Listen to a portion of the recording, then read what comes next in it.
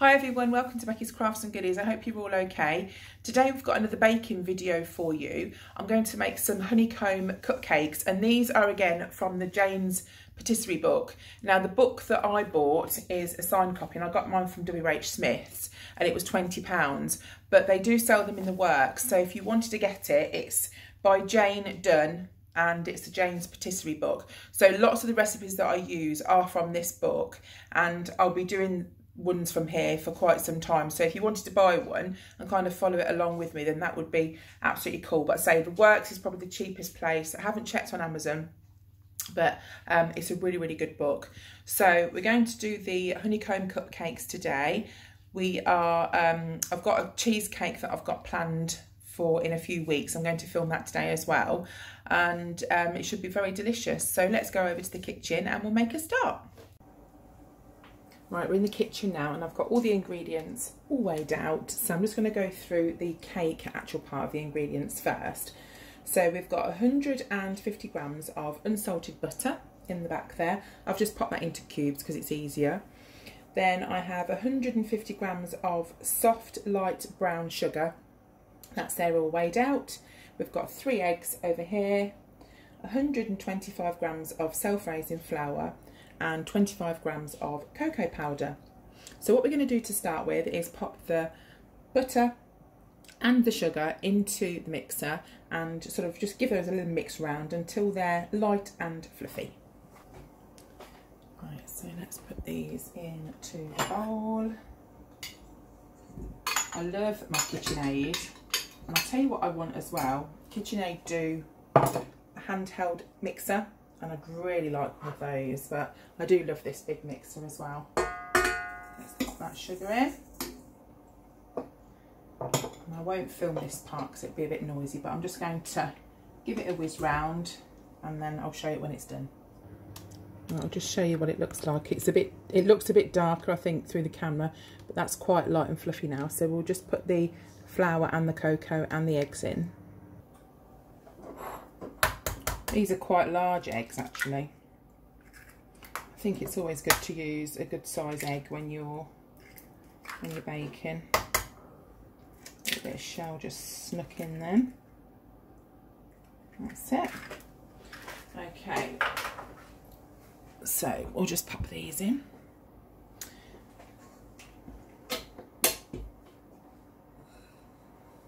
flour in. Do you know, I used to do like a little bit of each and then mix it. And then sometimes I just pop it all in. It just depends what mood I'm in and how much I'm rushing. So I'll probably put a couple of eggs in and give it a mix round and then put the rest in.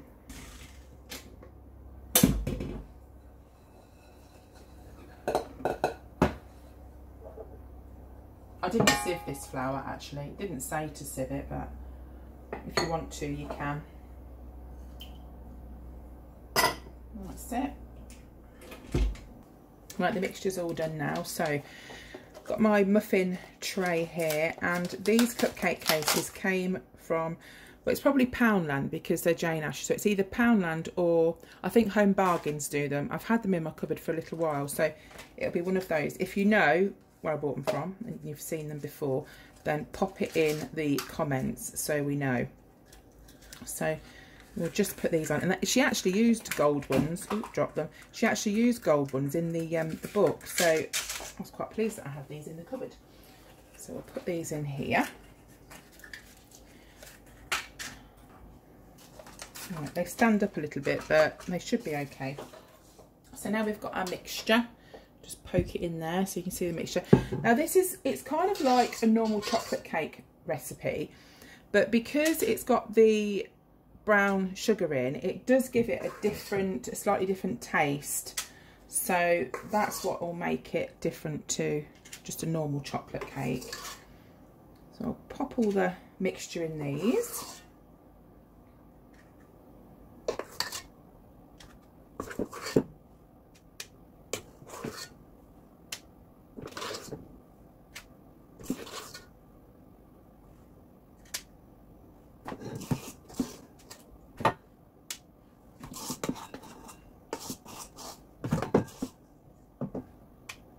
There we go. So they're all done. I'm going to pop those in the oven now. I've preheated the oven and I'm going to put them in on 180C. So they're going to take around about 18 to 22 minutes. So I'll just pop a timer on just so I don't forget them and then we'll get them out when they're ready. Here we go. So they're all done and out the oven. I'm just going to leave them for a minute or so and then I'm going to turn them out from the tray and just pop them onto the cooling rack and we'll just leave them there to cool for a little while and then we're going to start and make the buttercream. Right, so they're the cupcakes. They've cooled lovely now. So we're going to make the buttercream. This is a honey buttercream. So we've got 150 grams of unsalted butter. And we've also got some icing sugar and that's 300 grams. And in this bowl here, we've got some clear honey and that is 75 grams.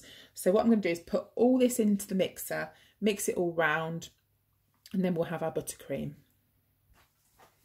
Right, so I'm just going to put the honey in. What I did was mix the marge and the icing sugar first, and then I'll do the honey afterwards. Obviously, that would be instead of putting in any water, but I've never made it with honey before, so hopefully we'll be, we'll be fine. Right, this is what the buttercream comes out like. It's actually really nice. I've just tried some. So I'm just going to pop this now into my piping bag. And I used to buy the disposable ones quite a lot, but obviously I was throwing away quite a bit of plastic. So I just bought one of these and I just wash it out every time now and it's, it's much easier. So I'm just going to pop this in here. If you haven't got a piping bag, you can just literally spread it on. So don't think you've got to pipe it on if you if you don't have a piping bag or if you're not very good at it. So we'll just pop some of that in there. And let's see whether it when it comes out and it's ready. There we go. Right, so all you need to do um, is I always start on the edge and you need to squeeze the top so you want to apply pressure at the top part here. And I always hold it with um, my other hand just to steady it. And we're going to go round in a continuous kind of swirl like that. So when you're doing it you have to press on the bag. I've got ice on my nails so you have to press on the bag all the time. So hold it steady with the other hand start squeezing and kind of just work round in a circle and then go round like that and then kind of pull it up. So, and then you get a really nice swirl. So, I mean, lots of you will know how to do this, but there will be a few of you that don't. So let me show you again. So start on the edge, squeeze at the top, go round, swirl and up.